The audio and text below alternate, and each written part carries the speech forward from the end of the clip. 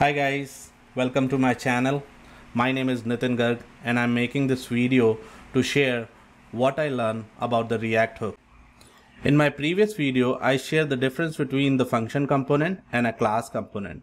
And I did mention that the function component are stateless and class component are the stateful. But in this video, I'm gonna change my statement.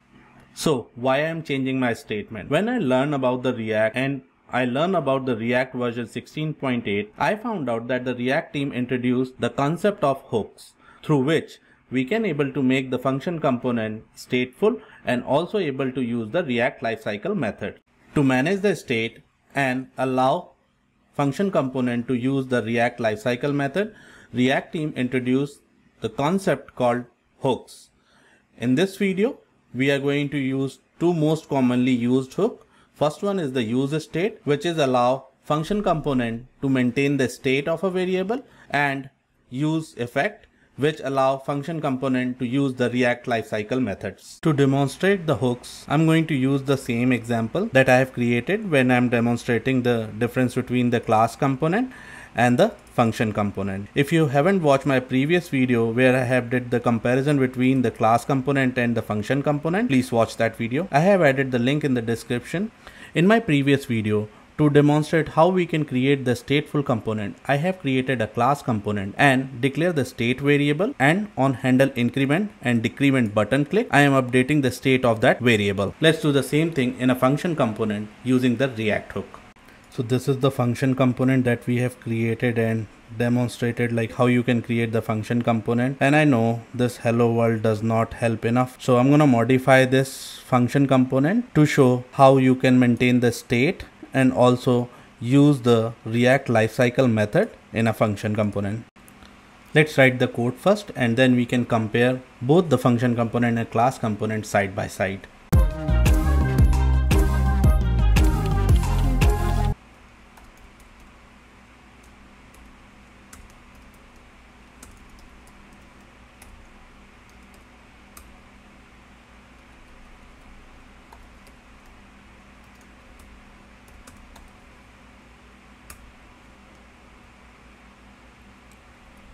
These are the two hooks that we are going to use to demonstrate how we can maintain the state and also use the React lifecycle method.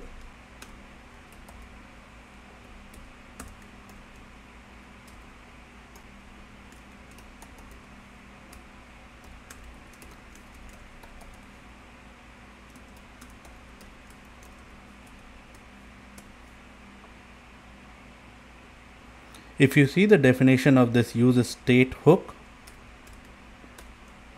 it returns the stateful value and a function to update it. So this is the variable that holds the value and this is the function that basically update the state of this variable.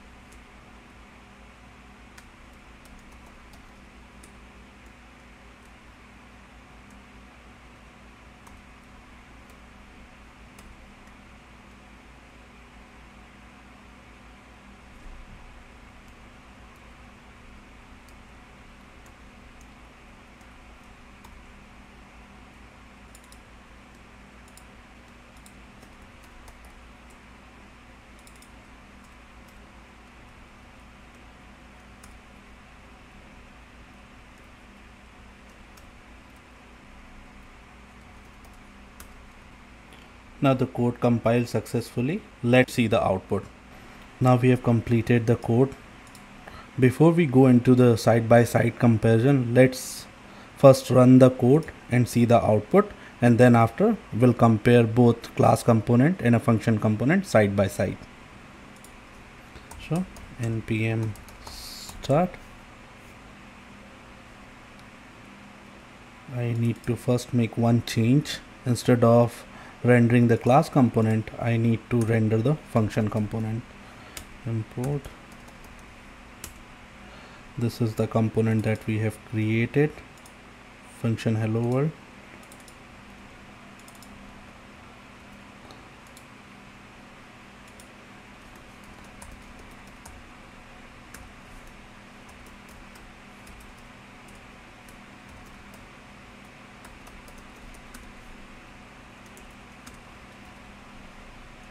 just to make sure that the output that we are seeing is from the function component.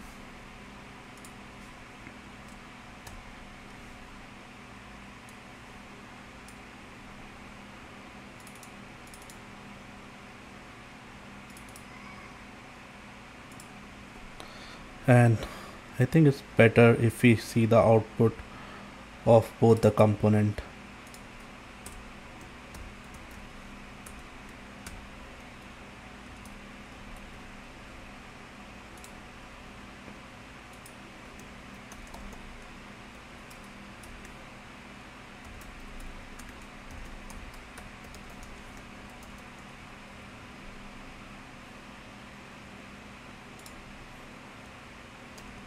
so if we see we are able to update the state of that count variable on increment and decrement button click. Same thing we are also able to do it now with the function component.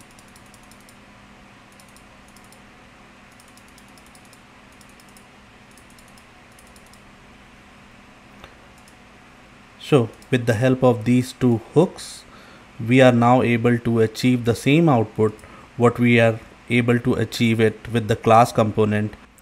Let's compare the function component and a class component side by side. In a class component, we are using the state object to define the properties for which we need to maintain the state for. We can define as many as property that we would like to maintain the state in a class component. In case of a function component, we are using the use state hook. Use state hook returns the pair, an array of two items. The first item is the current value and the second item is a function. To use the React lifecycle method in a class component, we are using the component did mount and inside the component did mount, we have used the set state function to update the state of that count property. Similarly, we are in a function component, we are using the use effect hook and update the state of that current count. We have handle increment and decrement function to update the state of that current count. Here in place of function component, we are also using the increment and decrement and to update the state of that current count, we are using the set count function which we have defined when we are defining the use state hook. So this is how with the help of a hooks you can able to create a stateful function component and also able to use the React lifecycle methods. Hope you like this video. Please comment, like and subscribe to my channel. Thank you.